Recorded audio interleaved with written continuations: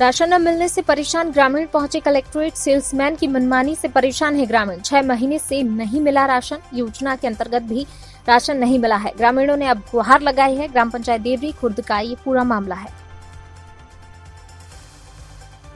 कहाँ से आए हो? हम ग्राम देवी से। अच्छा ये बताइए आप यहाँ। मंत्री जी के आए हो? क्या समस्या है आपको? ये है कि हमारे कोरोना काल का तीन माह का राशन नहीं मिला है। कुछ भी नहीं देता है और बोलता है तुम शिकायत करना चाहते हो शिकायत कर लो।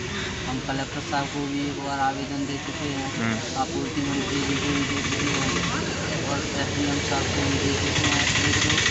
पर कॉल कर चुके हैं। तो किसी ने कोई कार्रवाई नहीं की अभी तक? अभी तक कोई कार्रवाई नहीं हुई। तो कितने लोगों को राशन नहीं मिला है अभी? अभी लगभग लगभग तीस पैंतीस लोगों को राशन नहीं मिला है पाँच सत्तर पर्ची भी रखी हम्म।